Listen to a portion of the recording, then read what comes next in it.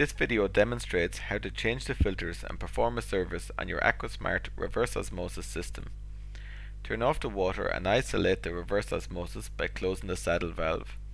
Please note that this demonstration uses a reverse osmosis system with no water. Your system will have water in the tubing and filter housings.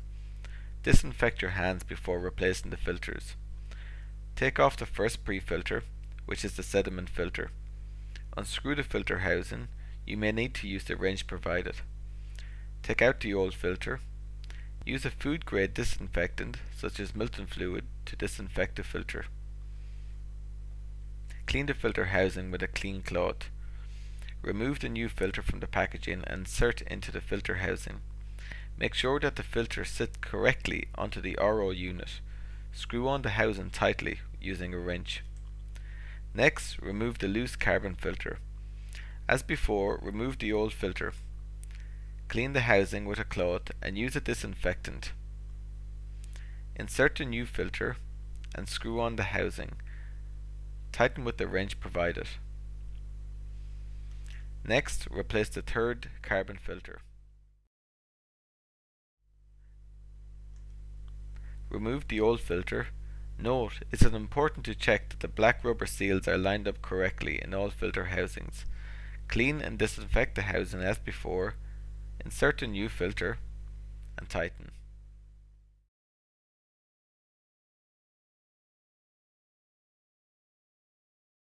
Next, replace your taste and odour filter. If your connections have blue fasteners, you will need to remove them before disconnecting the tubing. Remove the tubing from both ends of the old filter. Note that you may have push-in fittings on your filter instead of the screw-in type. Unscrew the fittings from both ends of the old filter for reuse. Apply PTFE tape onto the screwed fittings. Remove the packaging from your new filter and screw on the fittings. Clip your filter in place. Replace all tubing. Remember to replace the blue fasteners if your unit has them.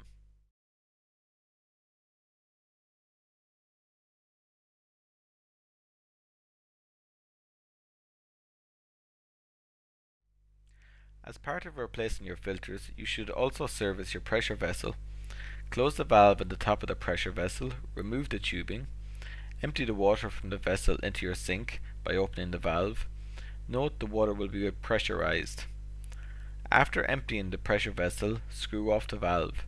Disinfect the vessel by squirting the disinfectant into the valve opening. Finally, screw the valve back onto the top of the vessel.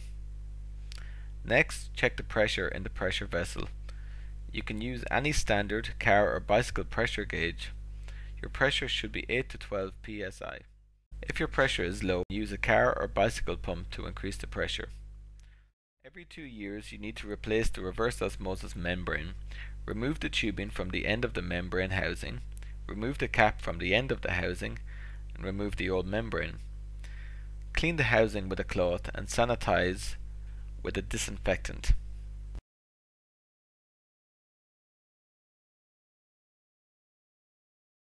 Remove all the packaging from the new membrane. Some membranes have black caps on either end. Remove these. One end of the membrane will have two black O-ring seals. This end of the membrane should be inserted first. Make sure that the rubber seals stay in place. Screw on the housing and tighten. Reattach the tubing.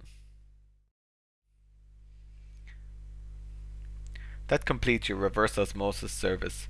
Service is the same on both pumped and non-pumped models. Thanks again for shopping at Water2Buy.